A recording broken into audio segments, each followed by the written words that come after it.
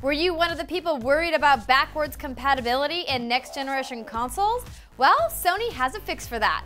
Welcome back to Escapist News Now. I'm Andrea Rene. At the Tokyo Game Show, president of Sony's Worldwide Studios announced that Gaikai streaming services will bring PlayStation 3 games to the PS4.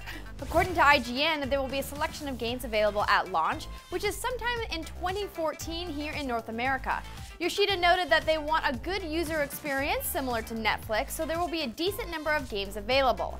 Players will be able to access games through their PS4, PS Vita, or even the recently unveiled PS Vita TV, which in my opinion could make the Vita TV a much more valuable piece of hardware.